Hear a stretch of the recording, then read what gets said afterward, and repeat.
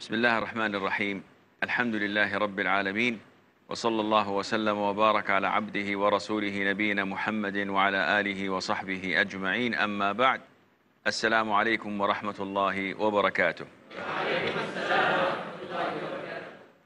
We're still discussing the chapter that deals with dua, with invocation from the gardens of the righteous, Riyadus Salihin, which was compiled by Imam An-Nawawi.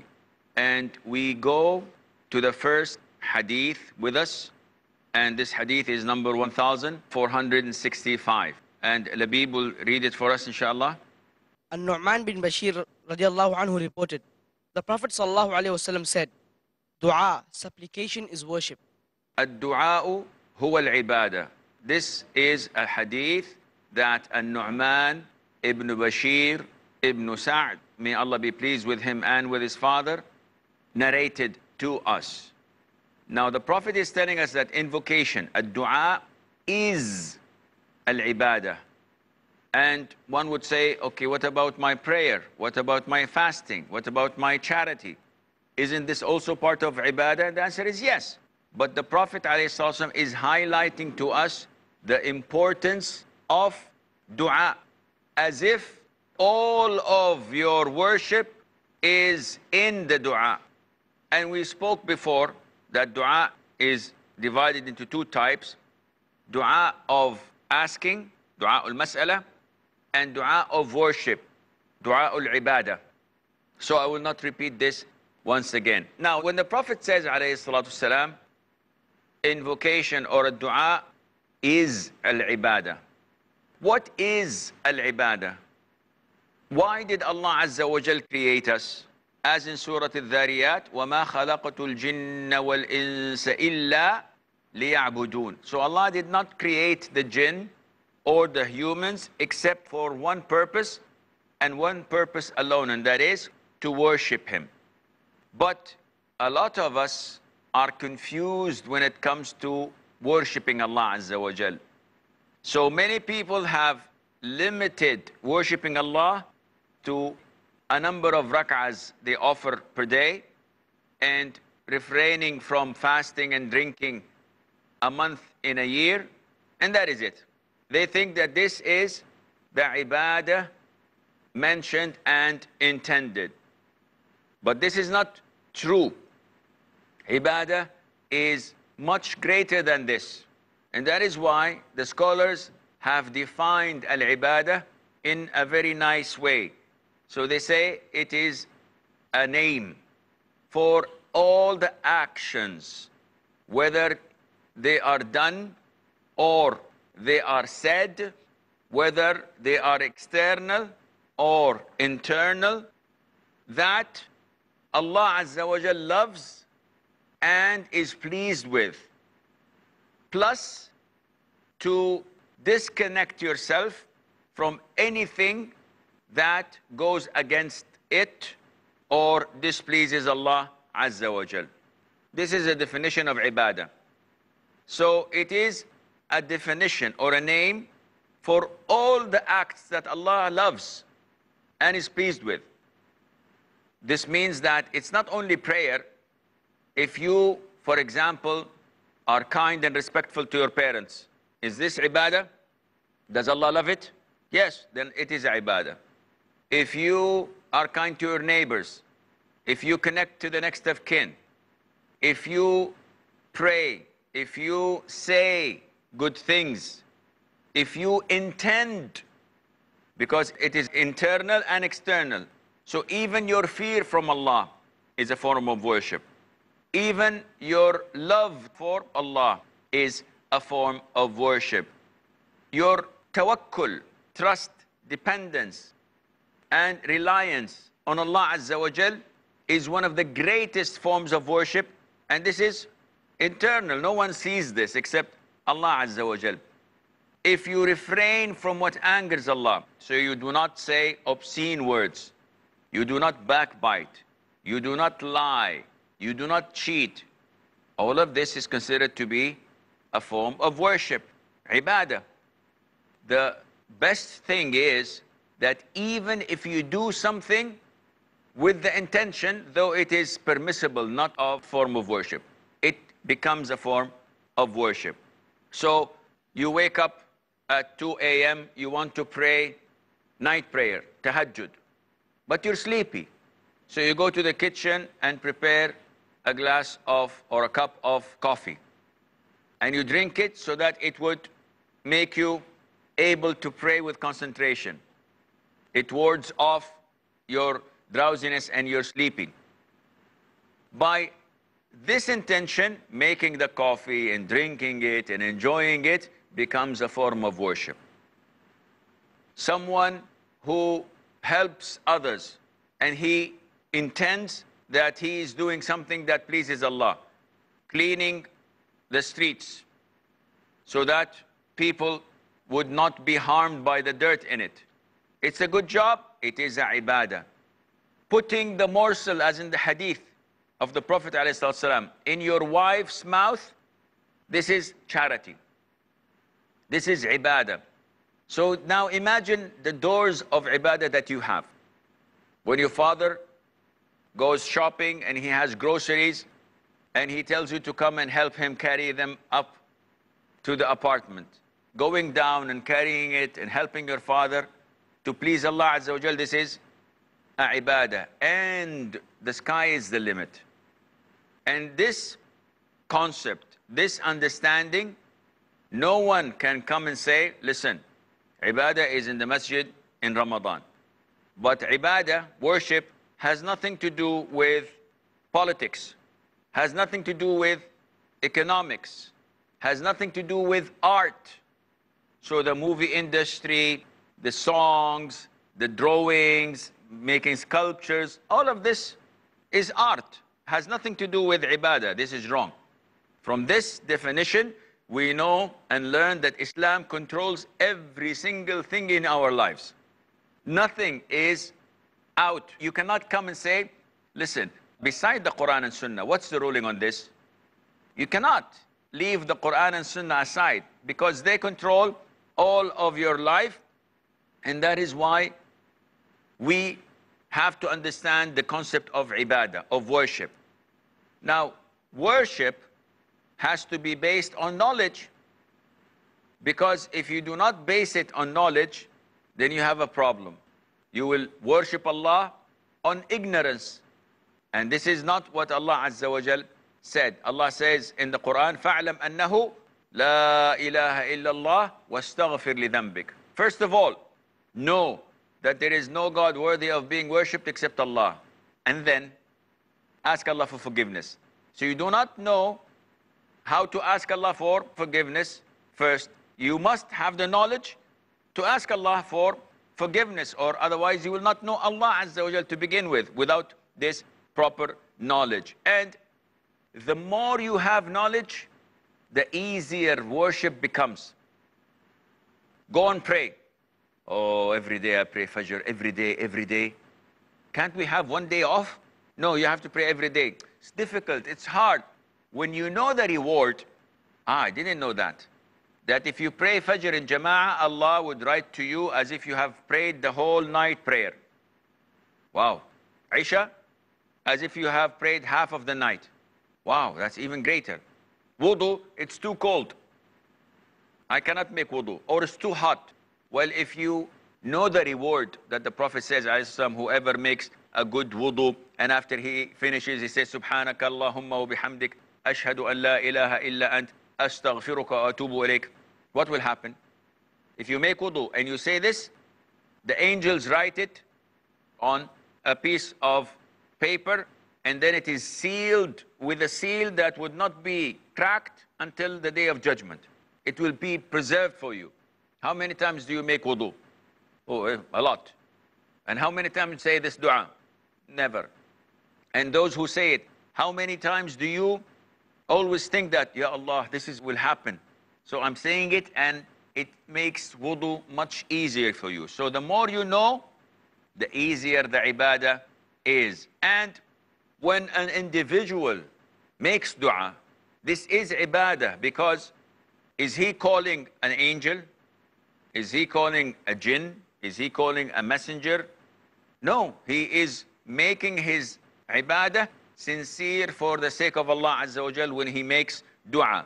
And that is why if you want to know whether your dua is sincere to Allah Azza wa Jal or not, look at how long you will make the dua. Because if you make the dua for two, three days and then you leave, said, I made dua and Allah did not answer me. Then this is a sign that your dua is not sincere for the sake of Allah. But if you make dua, you must remain steadfast, making this dua for a month, for a year, for 10 years, until Allah Azza wa opens the door for you. Never ever give up from Allah subhanahu wa ta'ala because as stated before, you are worshipping Allah the more you make dua. Because the Prophet says, Asam, dua is worship. So the more you ask Allah Azza wa Jal, the more you get the reward from Allah subhanahu wa ta'ala. Can we ask people to make dua for us? It's an issue of dispute among scholars. Some say that this is not appropriate because your tawakkul, your trust, is not on Allah but rather on that individual. Others say that it is permissible and they report a hadith from the sunnah that the companions used to ask one another to make dua for them, as in the hadith of Abu Darda, when his son-in-law was going for Hajj, his wife, Umm Darda, said to her son-in-law, make dua for us. So when he left, he met his father-in-law, Abu Darda, may Allah be pleased with him, and he told him that this is strange. My mother-in-law asked me to make dua for her. And he approved of that and he said, you make dua for us. And this means that it is permissible, inshallah. We have a short break, stay tuned, and inshallah, we'll be right back.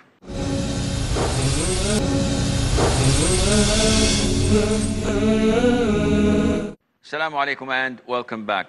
So, do we have any questions? Yes, Labib. Sheikh, as you gave the evidence that asking someone to make dua for us, it's allowed. So what if someone says that a person is dead? He might have been a righteous person, a saleh, and I make dua in his name. So is it allowed for me to make dua in his name? That's a very good question. Now, what is the ruling on asking someone who's dead, who's pious, who's known to have been righteous for dua? And there is no difference of opinion among scholars that this is prohibited.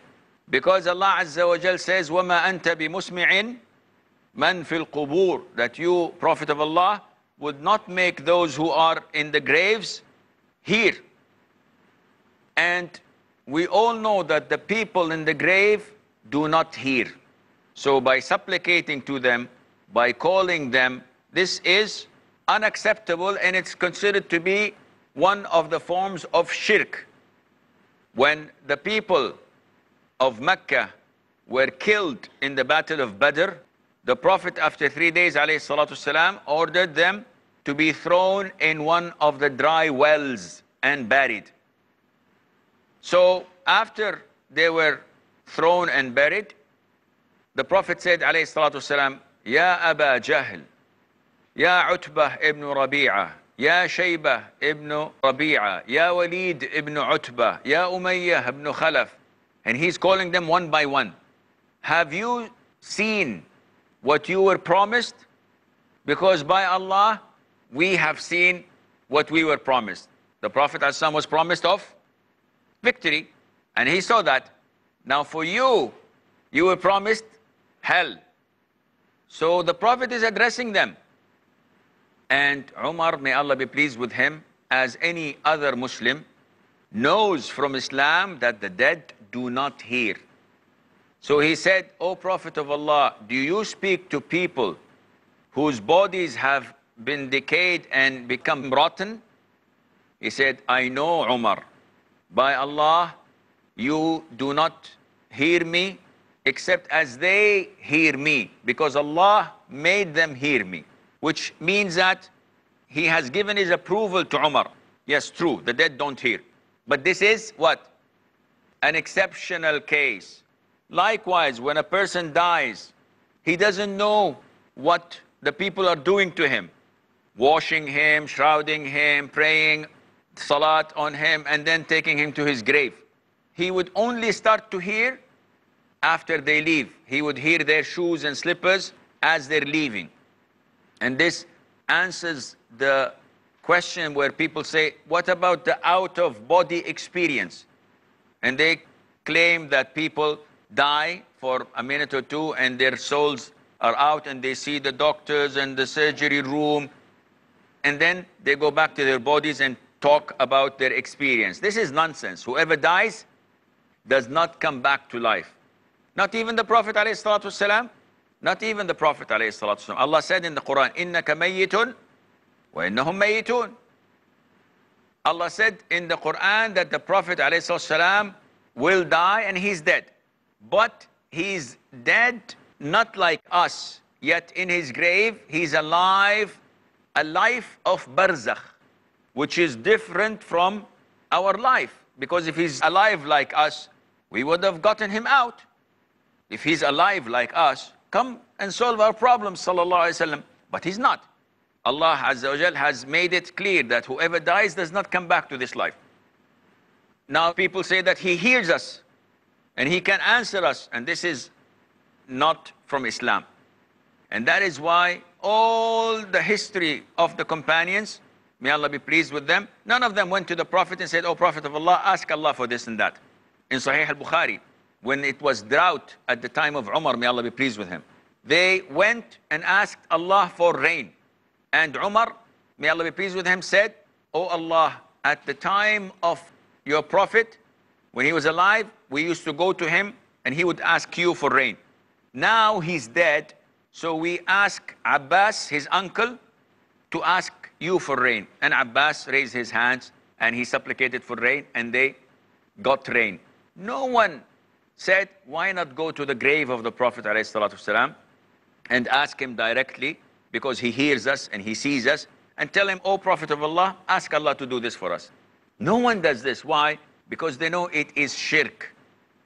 So to answer your question, Labib, it is not permissible to ask someone who is dead for any help. And among the issues also that nowadays are spreading among the Muslims, they have a problem of a hadith which is fabricated, it's weak, it is not authentic, which states that if you are in a desert and you lose your way, so you shout and say, O servants of Allah, guide me. Who are the servants of Allah? They say angels, jinn, and they will guide you back to your route. Now the hadith is not authentic, yet people fight on it. They say, no, this is permissible because it is like going to the doctor and asking him to help me in getting the medicine. So I'm asking the righteous jinn and the angels to guide me. This is shirk. Ask only Allah Azza wa Jal. So this issue is prevailing unfortunately among some of the Muslims and they say, no, no, no, this is not a shirk, this is means of shirk. What is the difference? It's all shirk. Yani, it's okay to ask the jinn or the angels for help in such issues. They say, yes, it's okay. Okay, then I know this impostor, and he says that I perform surgical operations with my nail, fingernails.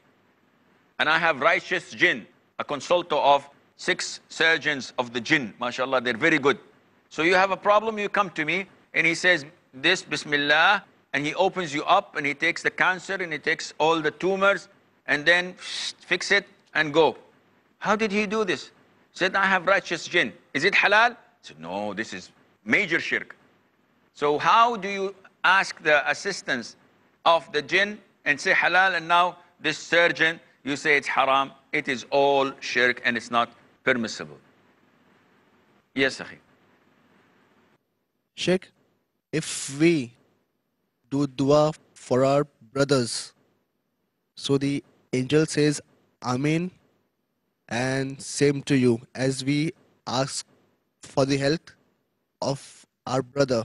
So can we make this a routine? Uh, that if i need something then i'll say that oh allah please grant my uh, brother did this thing. So in return that i will also get these things. Well, this is like asking, Where is your ear? And you say, It's here. Instead of saying, It's here. If you want something from Allah Azza wa Jal, why do you ask it for your brother? So the angel would say, Ameen to you. Ask directly to Allah Azza wa Jal, Oh Allah, grant me this.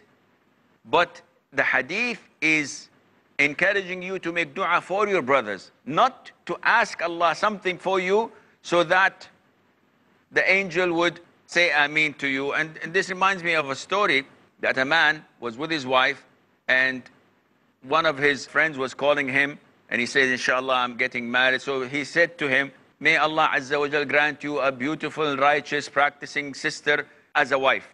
As he finished his sentence, he got smacked by his wife. And he said, Why are you doing this? He said, Ah, you're doing this so that the angel would say, And for you as well. Don't ever ask Allah such a, a, a thing. So this shows you that some people over exaggerate and do things that are not needed. You ask Allah Azza wa straight for something and Allah would answer you. But if you know your brother is in need or something and you ask Allah for him, as a bonus, Allah would appoint an angel to say Ameen as well. Sheikh, as you have mentioned in the earlier episodes, that the wazaif and all these things are not permissible. But we know that the Quran is Shifa. It's one of the name of Quran is Shifa for the people. So if a person he finds out some particular ayah which gets him the solution to a problem. For example, the Sahaba they found out that in Surah Fatiha there is Shifa. And here also in subcontinents you have a particular ayah for some issue. Or like for example Surah Yasin, which is the most widely read in cases of uh, illness or other problems. So is this permissible? First of all, to cure yourself from an illness through using the Quran, this is definitely a valid statement because the Quran is shifa, is a healing. However, to believe that a particular ayah cures from a particular illness without evidence from the Quran or from the Sunnah or from the companions, may Allah be pleased with them all, then this is not acceptable and it becomes sort of an innovation. So you have to stick in terms of wazifa or whatever to the verses and Sunnah dua which the Prophet ﷺ has taught us. If it's good dua that is not part of the sunnah, but it is good, the Prophet told us you can use this without any problem. From the Quran, you have to have evidence. So if someone says that I would like to cure my knee pain, I have pain in my knee, so I recite Tabbat yada abi lahabin watab, Tabbat yada abi lahabin watab. What does this have to do with that? Nothing. So this is an innovation. This is all the time we have until we meet next time. Fi amanillah. Assalamu alaikum wa rahmatullahi wa barakatuh. He created the universe. To him belong the heavens and the earth. The ever living, he is the first. He's the owner of mercy. He sent his messengers to warn his creatures of the grave dangers. Oh,